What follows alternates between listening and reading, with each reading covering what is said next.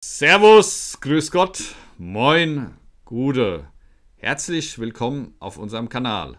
Heute ist Volkstrauertag 2022 und wir wollen mal ein Thema aufgreifen, das nicht so direkt in unseren Kanal passt. Wir wildern sozusagen.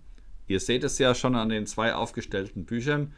Wir befassen uns mit Major Walter Nowotny. Mir ist per Zufall, also beim Aufräumen, sind mir einige alte Bilder in die Hände gefallen und die werde ich euch heute zeigen. Also, Major Walter Nowotny, Brillantenträger, der erste Yachtflieger mit über 250 Luftsiegen. Gefallen am 8. November 1944 in der Nähe von Bramsche. An seiner Absturzstelle wurde ein Gedenkstein errichtet und da fand früher am Volkstrauertag immer eine Kranzniederlegung statt.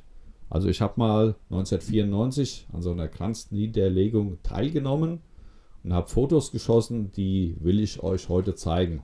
Damals noch unter Beteiligung der Bundeswehr. Ihr seht hier Offiziere der Luftwaffe legen also einen Kranz nieder. Aber wie gesagt, ich werde euch noch ein paar Bildchen zeigen und auch ein bisschen was über Nowotny erzählen und euch den Mann mal vorstellen. So, ich habe damals nicht nur Fotos geschossen, sondern auch im Anschluss einen Artikel verfasst, den ich euch heute vortragen werde. Also, los geht's. Alljährliche Gedenkfeier am Volkstrauertag an der Absturzstelle des Major Nowotny in Bramsche. Sonntag, den 13. November 1994. Volkstrauertag. Epe bei Bramsche. Kurz vor 11 Uhr versammelten sich ehemalige Kameraden, Bundeswehrangehörige und Anwohner an der durch ein schlichtes Mahnmal gekennzeichneten Absturzstelle des gefallenen Brillantenträgers Major Walter Nowotny. Nach einer Kranzniederlegung durch Offiziere der Bundesluftwaffe erfolgte eine bewegende Ansprache eines früheren Kameraden. Er erinnerte an die 258 Luftsiege, die der tote Kommandeur auf nur 442 Feindflügen errang. Im Geiste steht die Gestalt Walter Nowotnys vor uns, dessen wesentlichstes Merkmal seine meist lachenden Augen waren. Die Rede endete mit dem Bekenntnis, ich hatte einen Kameraden, er flog an meiner Seite, einen besseren findest du nicht, und der Hoffnung, dass der Friede bald auf der ganzen Welt Einzug halten werde.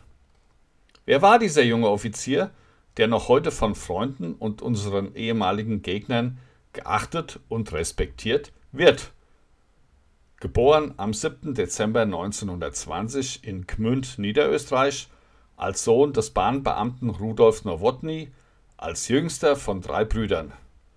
Am 1. Oktober 1939 erfolgte seine Einberufung zur Luftwaffe. 1941 finden wir ihn im Jagdgeschwader 54 an der Ostfront. Das Ritterkreuz des Eisernen Kreuzes erhielt er am 4. September 1942 als Leutnant und Flugzeugführer in der 9. Staffel Jagdgeschwader 54 nach 56 Luftsiegen. Im Juni 1943 begann, begann sein kometenhafter Aufstieg, der ihn bis an die Spitze der deutschen Jagdflieger bringen sollte. 100. Luftsieg am 15. Juni 1943. Nach 189 Abschüssen bekam er am 5. September als Oberleutnant und Staffelkapitän der ersten Staffel Jagdgeschwader 54 das Eichenlaub zum Ritterkreuz verliehen. Die Schwerter folgten am 22. September 1943. Nowotny ist bereits Hauptmann und Kommandeur der ersten Gruppe Jagdgeschwader 54 nach 218 Luftsiegen. Jetzt war er der erfolgreichste Yachtflieger der Welt. Aber sein Siegeslauf war noch nicht zu Ende. Am 14. Oktober errang der Hauptmann als erster in der Geschichte des Luftkrieges den 250. Luftsieg. Daraufhin bekam er als achter Offizier der deutschen Wehrmacht am 19. Oktober 1943 von Hitler die Brillanten verliehen. Hitler selbst rief kurz vor Mitternacht desselben Tages in der Ria Bar in Wilna an und gratulierte dem dort anwesenden, frisch dekorierten Flieger zu dieser hohen Auszeichnung. Eng verbunden mit Walter Nowotnys Erfolgen war die treue Kameradschaft mit Leutnant Anton Döbeler, Ritterkreuz posthum am 26.03.44, Rudolf Rademacher, Ritterkreuz 30.09.44 und seines Kaczmarek Karl Quacks Schnörrer, Ritterkreuz am 22.03.45. Zusammen erzielte dieser Schwarm etwa 450 Luftsiege. Besonders herzlich war auch sein Verhältnis zu den schwarzen Männern, den Kameraden vom technischen Personal, ohne deren vielseitige Hilfe die großen Erfolge der Flieger niemals zustande gekommen wären. Am 15. November 1943, nach dem 256. Luftsieg, erhielt der Kommandeur Flugverbot und wurde am 6. Februar 1944 Kommodore des Schuljagdgeschwaders 101 in Po, Südfrankreich. Am 19. September 1944 erfolgte Nowotnys Kommandierung zur Erprobungsstelle der Luftwaffe in Rechlin. Dort stellte er am 26. September das Erprobungskommando Nowotny in Achmar und Hessepe auf. Mit dieser Einheit sollte die Eignung des Turbinenjägers Messerschmitt Mi 262 als Jagdflugzeug bewiesen werden. Seit dem 1. September bereits Major war Walter Nowotny mit noch nicht ganz 24 Jahren der wahrscheinlich jüngste Major in der Wehrmacht.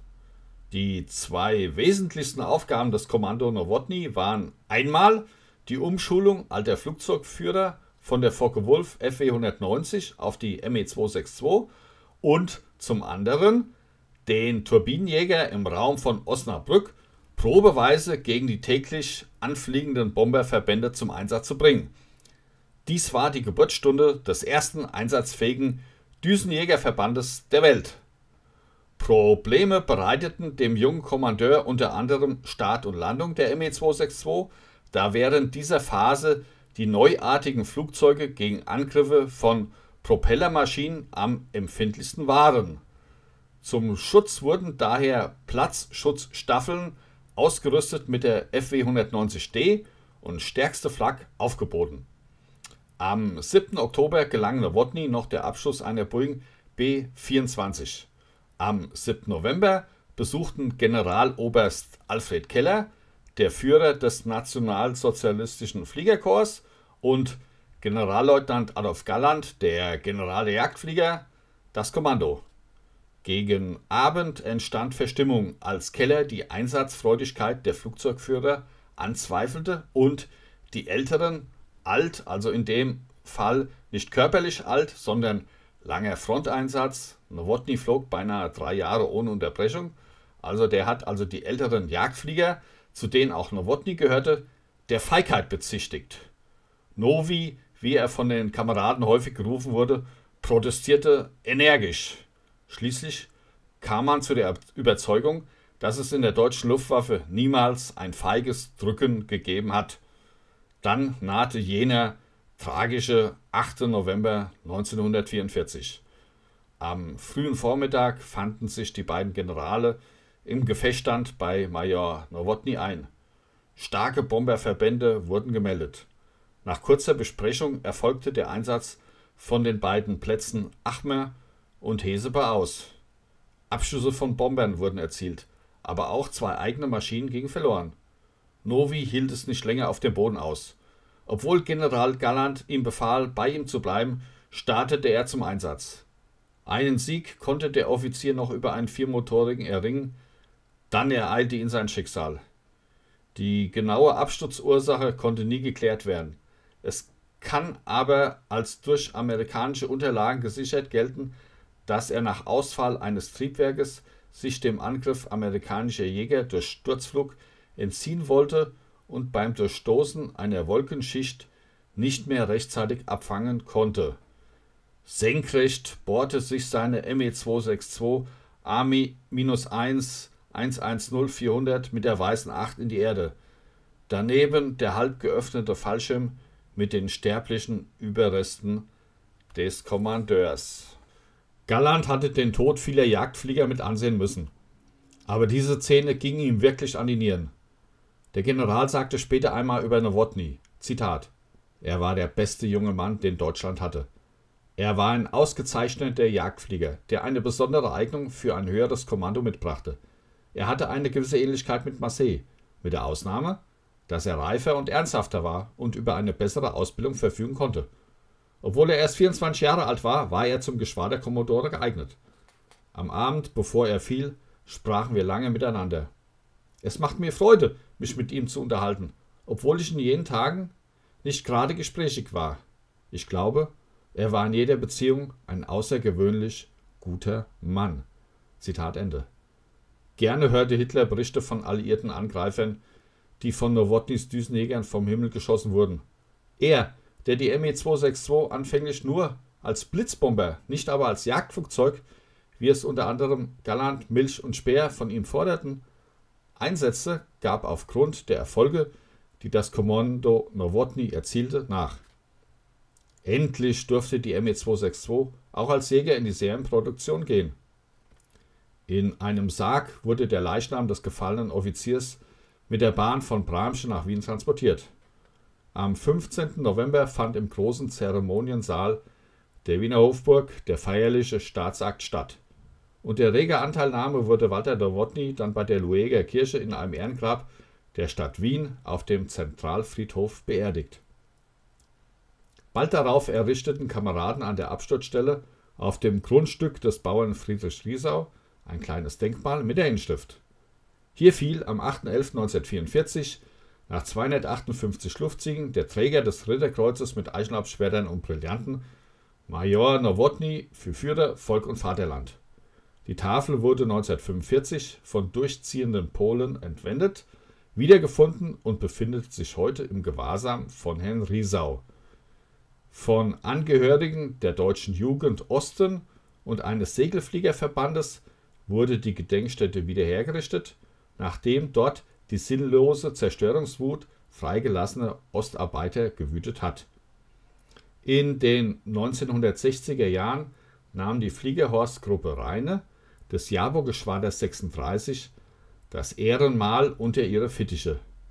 Durch Spenden der jungen Soldaten wurde viel zur Verschönerung der Anlage beigetragen. So, wie hat euch unsere Wilderei in fremden Revieren gefallen, der Luftwaffe? Ich muss fairerweise sagen, ich bin auch Fördermitglied in der Ordensgemeinschaft der Ritterkreuzträger, habe also auch an einigen jährlichen Treffen teilgenommen und habe auch etliche Ritterkreuzträger von Luftwaffe, Heer und Marine natürlich auch kennengelernt. Also Otto Karius. Genau, Otto Karius, den haben wir sogar in seiner Tigerapotheke besucht. Hajo Hermann habe ich besucht in seiner Anwaltskanzlei. Also wir planen da, wie gesagt, mehrere Videos mit Ritterkreuzträgern und da werde ich euch ein bisschen erzählen, was für einen Eindruck ich von den Männern gewonnen habe. Also, wir sagen Danke, Tschüss und Servus. Bis zum nächsten Mal. Euer Marinekalender.